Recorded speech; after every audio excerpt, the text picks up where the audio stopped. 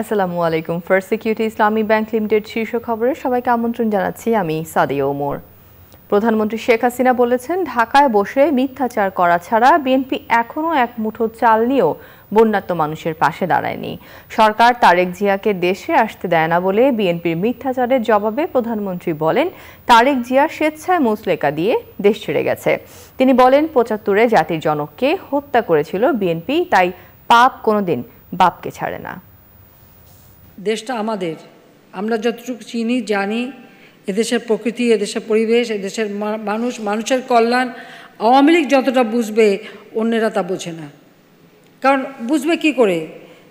বিএনপির হৃদয় তো থাকে পাকিস্তান। তাদের মনেই আছে পাকিস্তান। দিল মে হায় পেয়ারে পাকিস্তান। সারাক্ষণ ভাবে ওই গুনগুন করে ওই গানই গায়। আয় মেরে জান, পেয়ারে মান, আঁখো কি তারা, আসমান কি চান মেরে যান পাকিস্তান। এ হলো খালেদা জিয়ার কথা।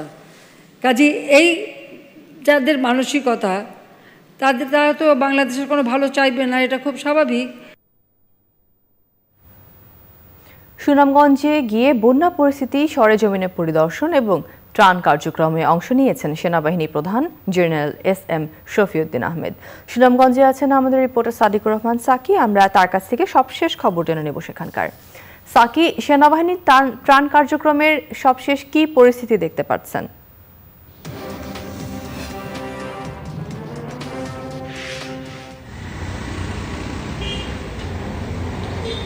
জি, আপনি যেমনটি বলছিলেন যে সেনাপ্রধান দুপুর দুইটার কিছুক্ষণ আগে হেলিকপ্টার যুগে আসলে বন্যা দুর্গত এই সুনামগঞ্জে এসে পৌঁছান এবং তিনি প্রথমেই শহরের পার্শ্ববর্তী সুরমা ইউনিয়নের মইনপুর এলাকায় যান এবং সেখানে বন্যার্ত মানুষের মধ্যে সেনাবাহিনীর পক্ষ থেকে কিন্তু ত্রাণ সহায়তা প্রদান করেন এবং পরবর্তী সময়ে তিনি গণমাধ্যমে কর্মীর সাথে কর্মীদের সাথে সেখানে কথা বলেন। তিনি যেটা বলছেন যে বন্যার শুরু থেকে বেসামরিক প্রশাসনের সাথে যুক্ত হয়ে সেনাবাহিনী উদ্ধার তৎপরতা থেকে শুরু করে ত্রাণ ব্যবস্থাপনায় এবং ত্রাণ কার্যক্রমে অংশগ্রহণ করছে।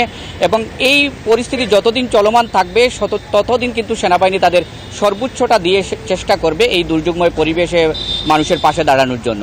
এর পরবর্তীতে তিনি আবার কিন্তু সিলেট সুনামগঞ্জ শহরে আসেন এবং সেখানে এসে তিনি আরেকটি ত্রাণ বিতরণ কার্যক্রমে অংশগ্রহণ করেন এবং সেই কার্যক্রমটি শেষে আমি এখন যেখানটাতে অবস্থান করছি, সুনামগঞ্জ সার্কিট হাউসে, সেখানে তিনি প্রশাসনের ঊর্ধ্বতন কর্তা ব্যক্তিদের সাথে কিছুক্ষণ কথাবার্তা বলেছেন এবং এই মিনিট খানেক আগে কিন্তু তিনি সুনামগঞ্জ ত্যাগ করেছেন এবং সার্কিট হাউস ছেড়ে গিয়েছেন এবং কিছুক্ষণের মধ্যে হয়তো হেলিকপ্টার যুগে তিনি সুনামগঞ্জ থেকে ঢাকার উদ্দেশ্যে রওনা করবেন।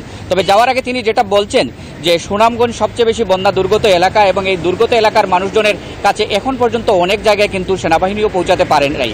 সেই জায়গাগুলোতে সেনাবাহিনী চেষ্টা করছে পর্যায়ক্রমে পৌঁছার এবং তাদেরকে প্রথমে প্রথমে প্রায়োরিটি যেটা দেওয়া হচ্ছে যে তিনি বলছেন যে তাদেরকে উদ্ধার অভিযান উদ্ধার করা হবে এবং শেষ দিকে তাদেরকে চিকিৎসা সহায়তা সহ তাদেরকে পুনর্বাসনের ব্যবস্থা করা হবে এবং সেক্ষেত্রে সর্বোচ্চটা দিয়ে কিন্তু সেনাবাহিনীর বা সেনা সদস্যরা চেষ্টা চালিয়ে যাবেন বলে তিনি আশ্বস্ত করেছেন। তো মোটামুটি সেনাবাহিনীর ত্রাণ কার্যক্রমের আমার কাছে সর্বশেষ তথ্য ছিল, এটুকুই পরবর্তী সংবাদে আপনার মাধ্যমে দর্শকদের হয়তো আরও নতুন কোনো তথ্য আমি অন্য কোনো জায়গা থেকে জানিয়ে দিতে পারব।